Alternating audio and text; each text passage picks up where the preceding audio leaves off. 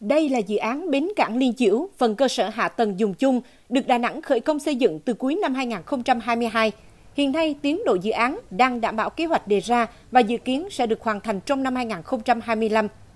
Để phát huy tối đa tiềm năng cảng nước sâu được quy hoạch tiến tới là cảng biển đặc biệt này, cùng với lợi thế về cảng hàng không quốc tế, du lịch quốc tế, Đà Nẵng đã đề xuất và được Trung ương cho phép thí điểm khu thương mại tự do gắn với cảng Liên Chiểu.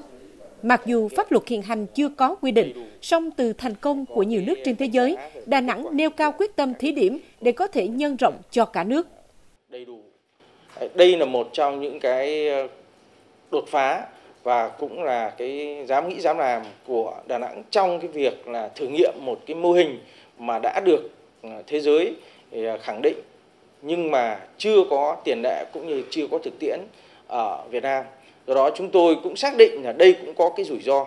Nhưng mà chúng tôi chấp nhận cái việc rủi ro đó với cái việc là nếu như thành công thì là nó sẽ là cái nền tảng cho cái việc nhân rộng cho cả nước. Khi cái khu thương mại tự do này nếu như được phát triển thành công thì không chỉ là một cái nơi để thu hút các nhà đầu tư vào phát triển ở trong cái khu thương mại tự do đó, mà nó còn có cái vai trò lan tỏa cho các cái ngành khác ở trên toàn bộ các cái khu vực của Đà Nẵng và miền Trung để phát triển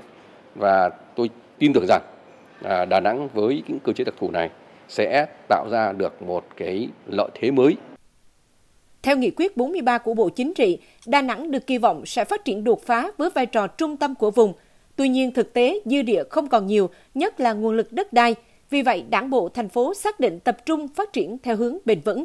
Đi theo hướng này và để đạt mục tiêu Trung ương đề ra thì thành phố cần các cơ chế chính sách đặc thù vượt trội – qua sơ kết 5 năm thực hiện nghị quyết 43, thành phố đã kiến nghị Bộ Chính trị vấn đề này. Trên cơ sở đó, tại kỳ họp thứ bảy, Quốc hội đã thông qua nghị quyết tổ chức mô hình chính quyền đô thị và thí điểm một số cơ chế chính sách đặc thù phát triển Đà Nẵng, trong đó có thành lập khu thương mại tự do.